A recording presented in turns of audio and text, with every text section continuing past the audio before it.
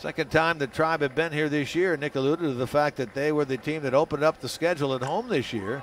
There's a shot into right and a base hit for Noelvi Marte after striking out his first time. He gets a base hit into right. His first AAA hit has him aboard to start